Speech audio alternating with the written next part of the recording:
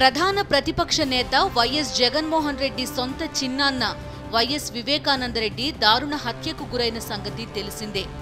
హత్య జరిగిన మరుక్షణం నుంచే ముఖ్యమంత్రి చంద్రబాబు నాయుడు బాధితులనే బోన్లో నిలబెట్టే కుట్ర యోచనతో పావులు కదుపుతూ వచ్చారన్నది వైఎస్ వివేకానందరెడ్డి బంధువులు వైఎస్ఆర్ కాంగ్రెస్ పార్టీ నేతల ఆరోపణ. అందుకే చంద్రబాబు నాయుడి కనుసన్నల్లో పనిచేస్తూ చంద్రబాబుకు రిపోర్ట్ చేసే పోలీసుల దర్యాప్తుతో తమకు న్యాయం జరగదని అసలు హంతకులకు శిక్ష పడదని వివేకానందరెడ్డి కుటుంబంతో పాటు వైఎస్ఆర్ కాంగ్రెస్ పార్టీ నేతలు అంటున్నారు. అందుకే చంద్రబాబు కనుసన్నల్లో పనిచేయని స్వతంత్ర దర్యాప్తు సంస్థ చేత దర్యాప్తు జరిపించాలని వారు డిమాండ్ చేస్తున్నారు. అటు వైఎస్ఆర్ కాంగ్రెస్ పార్టీ అధినేత జగన్మోహన్ రెడ్డి కూడా ఈ కేసును సిబిఐకి అప్పగించాలని డిమాండ్ చేస్తూ హైకోర్టును ఆశ్రయించారు. వివేకానందరెడ్డి కూతురు డాక్టర్ సునీత ఎన్నికల కమిషనర్తో పాటు కేంద్ర హోంమంత్రిత్వ శాఖ అధికారులను కలిసి తన తండ్రి హత్యపై సిబిఐ దర్యాప్తు చేయించాలని డిమాండ్ చేశారు. తన తండ్రి హత్య కేసును సిట్ పోలీసులు దర్యాప్తు చేస్తుండగానే ముఖ్యమంత్రి చంద్రబాబు నాయుడు దర్యాప్తు అధికారులను ప్రభావితం చేసేలా దర్యాప్తును పక్కదోవ పట్టించేలా వ్యాఖ్యలు చేస్తున్నారని సునీత ఆరోపించారు. తాజాగా వివేకానందరెడ్డి భార్య సౌభాగ్యవతమ్మ కూడా తన భర్త హత్య ఘటనపై సిబిఐ దర్యాప్తు చేయించాలని హైకోర్టును ఆశ్రయించారు.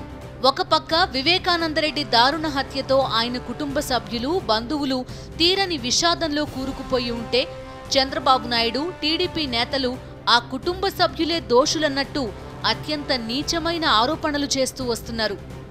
ఈ క్రమంలో చంద్రబాబు నాయుడు మంత్రులు అబద్ధాలపై అబద్ధాలు ప్రచారం చేస్తూ వచ్చారు. ఎన్నికల ప్రచారంలో ఐదేళ్ళ తన పాలనలో తానేం చేశానో చెప్పుకోలేకపోతున్న చంద్రబాబు నాయుడు వివేకానందరెడ్డి హత్యపై నోటికొచ్చిన వ్యాఖ్యలు చేస్తున్నారు.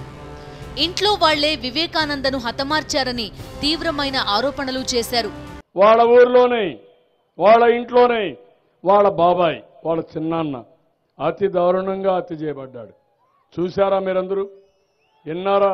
అర్థం చేసుకున్నారా? అర్థం చేసుకున్న వాళ్ళు చేలిపైకెత్తండి అది ఇంట్లో వాళ్ళ పని అవునా కాదా? ఇంట్లో వాళ్ళ పని అయితే బెదిరించి కడాన ఆయన కూతురు కూడా అందరికి పోయి రిప్రజెంటేషన్లు ఇప్పించి ఆ అమ్మాయిని కూడా భయభ్రాంతులు చేశారంటే వాస్తవాలు బయట రానియకుండా అందరినీ బెదిరించి ఒకవేళ ఎవరైనా చెప్తే చంపేస్తామని మీరు బెదిరిస్తున్నారంటే రేపు మీరు ఏం చేస్తారు ఈ రాష్ట్రాన్ని? విన్నారుగా? నలభై ఏళ్ళ రాజకీయ అనుభవం పద్నాలుగేళ్ళ పాటు ముఖ్యమంత్రి పదవి వెలగబెట్టిన అనుభవం ఉన్న చంద్రబాబు నాయుడు అన్ని విలువలు పక్కన పెట్టేసి ఇంత నీచంగా మాట్లాడతారని ఎవరైనా ఊహించగలరా అసలు? ఈ వ్యాఖ్యల ద్వారా చంద్రబాబు నాయుడు ఏం చెప్పదలుచుకున్నారు? సిట్ దర్యాప్తు అధికారులు ఏ నివేదిక ఇవ్వాలో అందులో ఎవరిని బోన్లో నిలబెట్టాలో కూడా చంద్రబాబు ఆలోచించి ఆయన ఆలోచనలకు అనుగుణంగా సిట్ నివేదికను రూపొందించదలుచుకున్నారా?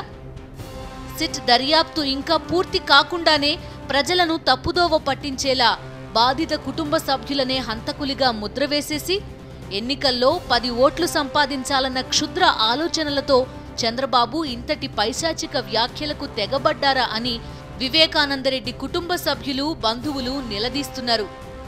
నిజంగానే చంద్రబాబు నాయుడు ఈ ప్రశ్నలకు సమాధానం చెప్పాలి. వివేకానందరెడ్డి హత్య కేసును దర్యాప్తు చేస్తోంది సిట్ పోలీసులా లేక చంద్రబాబా?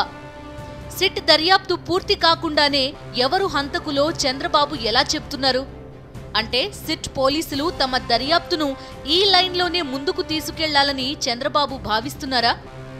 ఎన్నికల ముందు తనకు నచ్చిన నివేదికను తెప్పించుకుని ప్రధాన ప్రతిపక్షంపై బురద జల్లేందుకు చంద్రబాబు నాయుడు పన్నిన పన్నాగంలో భాగంగానే ఈ ముందస్తు వ్యాఖ్యలు చేస్తున్నారా? ఎన్నికల ప్రచారంలో ప్రజలను రెచ్చగొట్టే విధంగా కానీ మభ్యపెట్టే విధంగా కానీ విద్వేషాలు పెట్టరేగేలా కానీ విషం చిమ్మేలా కానీ ఉండనే ఉండకూడదని ఎన్నికల నిబంధనలు చెప్తున్నాయి. ఓ హత్య కేసు దర్యాప్తులో తనకు సంబంధం లేని పాత్రను పోషిస్తున్న చంద్రబాబు నాయుడు దర్యాప్తు అధికారి న్యాయమూర్తి కూడా తానేనని భావిస్తున్నారా? తానే ప్రతిపక్షాన్ని శిక్షించాలని చూస్తున్నారా? అసలేం చేద్దామనుకుంటున్నారు అని విపక్ష నేతలతో పాటు మేధావులు కూడా నిలదీస్తున్నారు. భారత రాజకీయ వ్యవస్థలో విలువలను ఇంతటి పాతాళానికి తీసుకెళ్ళిన ఘనుడిగా చంద్రబాబు నాయుడు చరిత్ర కాలగర్భంలో మిగిలిపోవడం ఖాయమని ప్రజాస్వామికవాదులు హెచ్చరిస్తున్నారు. చంద్రబాబు ప్రభుత్వం పైన ఆయన నైజం పైన నమ్మకాలు లేవు కాబట్టే వివేకానందరెడ్డి హత్య ఘటనపై సిబిఐ దర్యాప్తుకు డిమాండ్ వచ్చింది. హత్యతో చంద్రబాబు నాయుడుకి కానీ ఆయన పార్టీ సహచరులకు కానీ ప్రత్యక్షంగా కానీ పరోక్షంగా కానీ ప్రమేయం లేకపోతే సిబిఐ దర్యాప్తుకు చంద్రబాబు ఎందుకు వణుకుతున్నారన్నదే అంతుచిక్కని ప్రశ్న.